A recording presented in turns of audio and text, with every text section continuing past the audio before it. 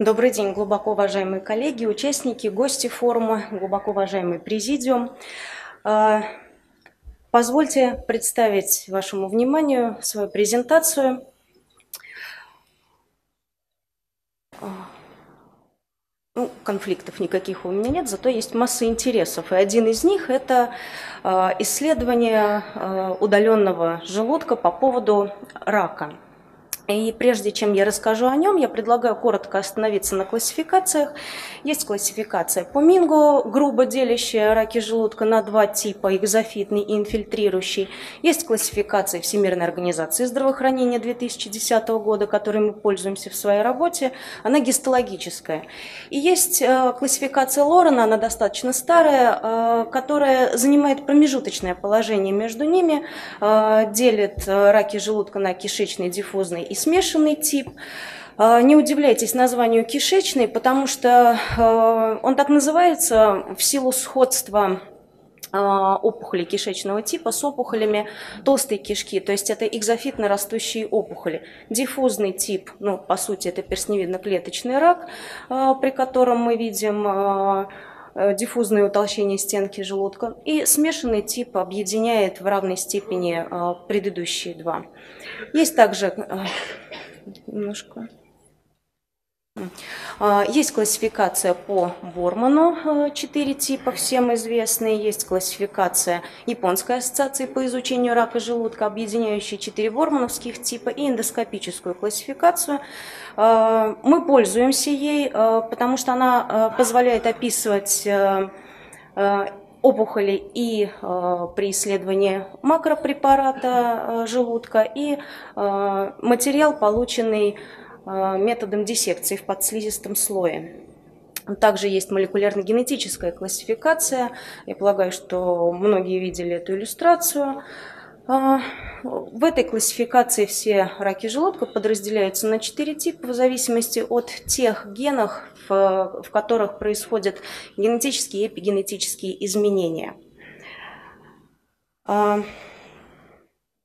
Они различны для разных типов рака, и выявление определенных мутаций э, является, хоть и является негативным прогностическим фактором, но позволяет подбирать таргетную терапию, Э, основываясь на их понимании. И есть несомненные успехи в этой области, но тем не менее, все же основными прогностическими, характерист... Э, прогностическими факторами являются характеристики самой опухоли. Это хорошо видно на э, графиках, это кривые выживаемости в зависимости от стадии и общей стадии, и стадии по Т и по Н. Итак, перейдем э, к патоморфологическому исследованию. Оно состоит из двух этапов, макроскопического и микроскопического.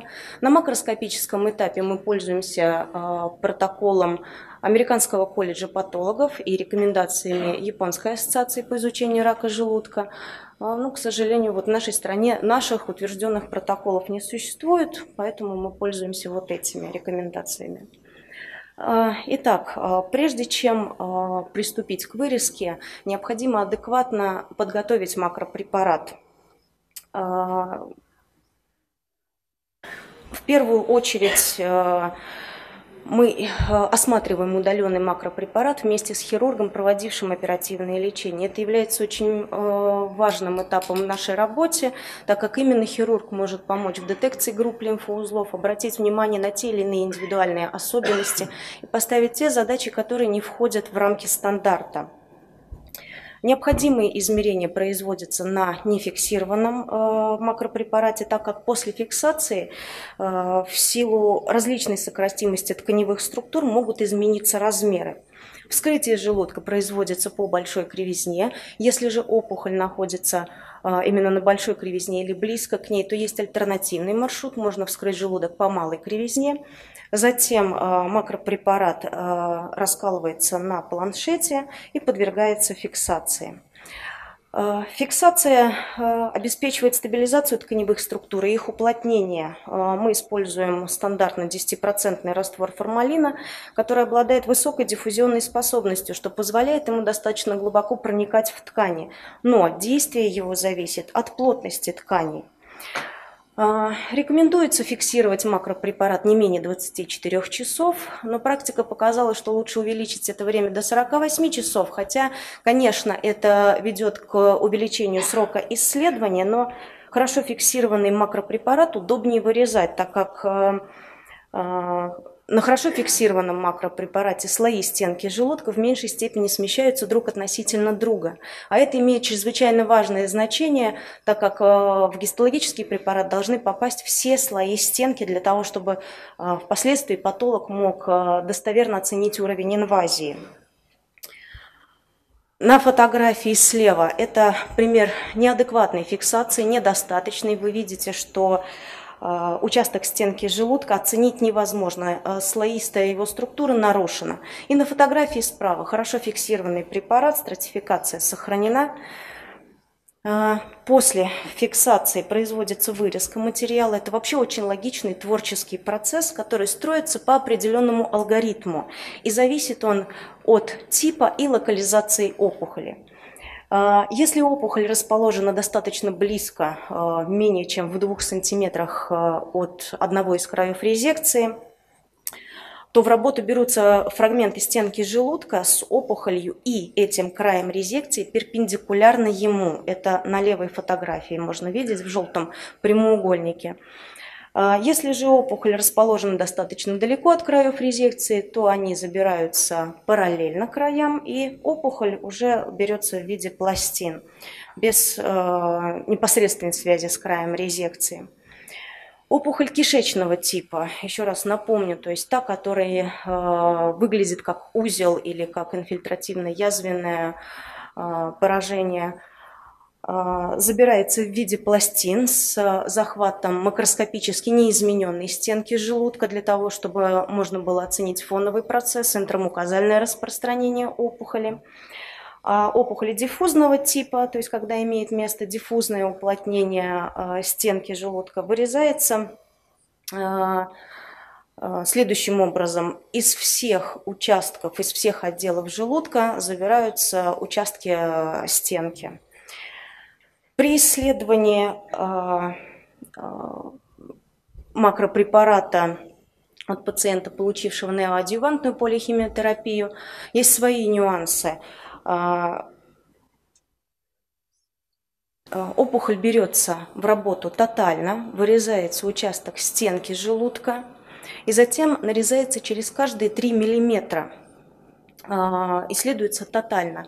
Это делается для того, чтобы впоследствии в гистологических препаратах можно было оценить процент жизнеспособной опухолевой ткани. И так как опухоль подвергается а, лечебному патоморфозу неравномерно, соответственно, она должна быть исследована вся. Общем-то, на этом и э, основан принцип градирования лечебного патоморфоза. Вырезка лимфоузлов по группам осуществляется в соответствии с японской классификацией при помощи хирургов. Есть большой смысл в том, чтобы не вылущивать лимфоузлы, а забирать их вместе с прилежащей жировой клетчаткой.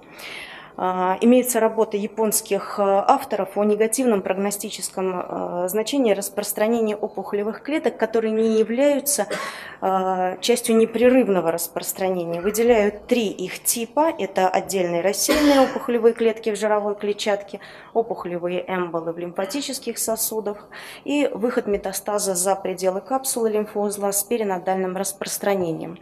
Вот, пожалуйста, пример есть. Это опухолевый депозит в жировой клетчатке с локальной диссеминацией по брюшине а, а, и а, лимфатический сосуд с опухолевым эмболом, метастаз с выходом за пределы капсулы.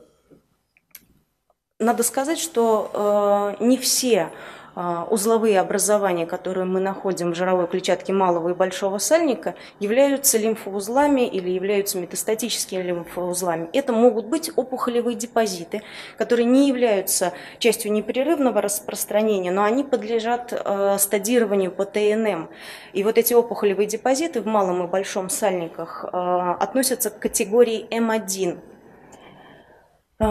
безусловно, в работу должны пойти все лимфоузлы, всех групп. А, далее, после того, как забраны все а, нужные фрагменты, края резекции, фрагменты опухоли, все лимфоузлы по группам, Проводится, выполняется проводка эмикротомии в стандартном режиме, и препараты поступают патологу.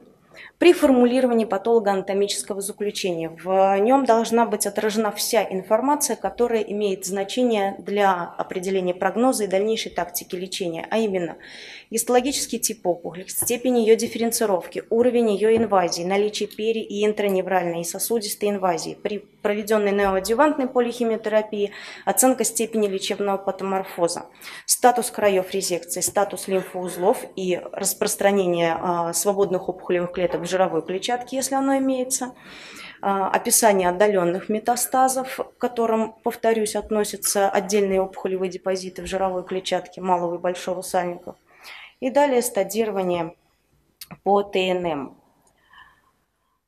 А, я уже больше года а, занимаюсь а, патоморфологическим исследованием удаленных желудков. Через мои руки прошло уже более 100 макропрепаратов. В общем-то, это такая очень масштабная и долгая работа. Должна же она вообще к чему-то приводить. Мы решили сравнить стадии клинические и патологоанатомические, которые мы выставляем на основании своего исследования. И в анализ были взяты желудки э, с первичной опухоли, то есть э, не рецидивные, не под, э, кроме того, не подвергающиеся лечебному патоморфозу, то есть без неоадъювантной полихимиотерапии. И выяснилось, что в 24% стадия не изменилась, но это означает, что в 76% она подверглась изменениям. А, в 36% а, изменение было в категории Т, а, в 14,5% в категории Н, в 24% было изменение в двух категориях, это либо ТН, либо ТМ, либо НМ. Выборка была, конечно, небольшая. Вот в статистику попал один случай, где было изменение всех трех категорий. Но дело в том, что их больше. Просто вот не вошли в статистику, так как это были а, желудки после неоадюванта. А, есть единичные случаи а, конверсии стадии CT1 в in situ и в PT2. Также единичные случаи конверсии CT2 в PT1 или в PT3. Но наибольшее внимание заслуживает стадии CT3. А, видно на диаграмме, а, что произошла конверсия в 20% случаев в ПТ-1, в 45% случаев в ПТ-2 и в 30% в ПТ-4. Ну и также а, аналогичные диаграммы по лимфоузлам.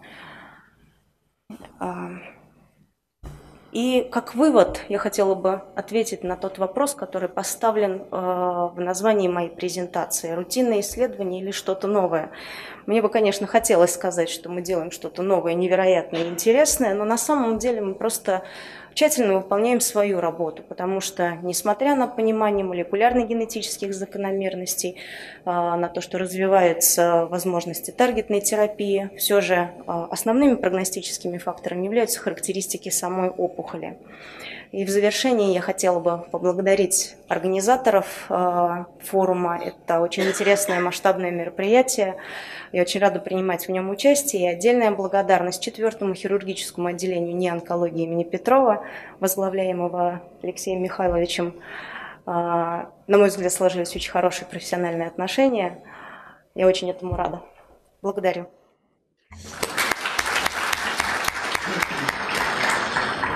А мы как раз рядом со мной сидит Ласадилович Роман, главный врач и главный онколог Ленинградской области, и мой учитель.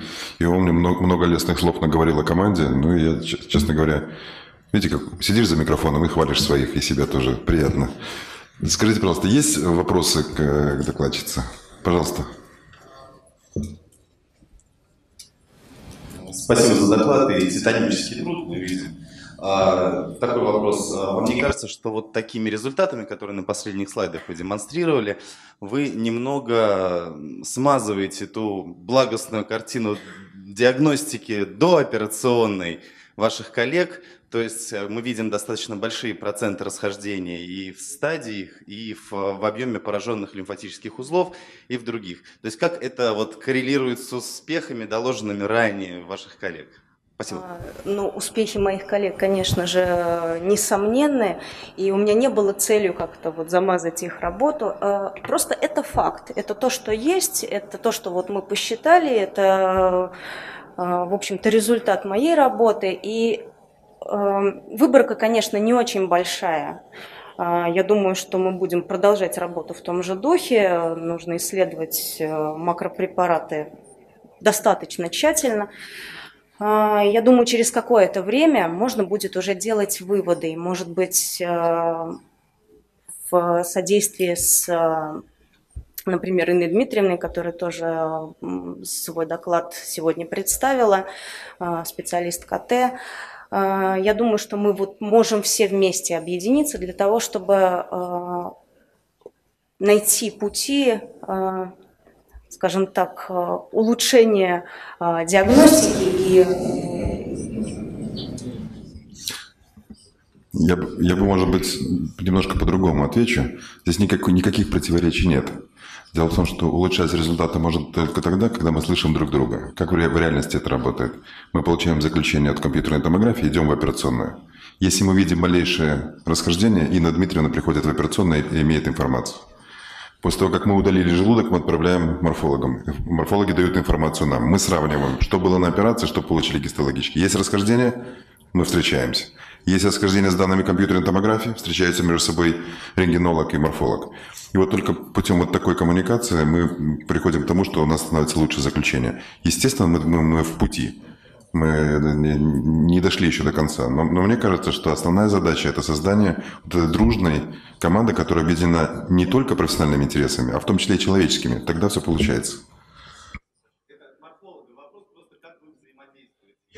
А, от хирурга ответ морфологу, давайте дружите, и все будет нормально.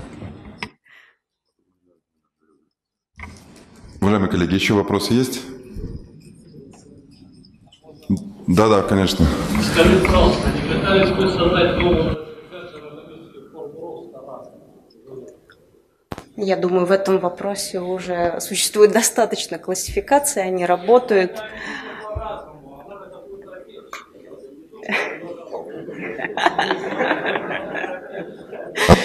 Это было бы это интересно, можно было бы назвать эту классификацию моим именем, но вот все-таки мы пока работаем по тем классификациям.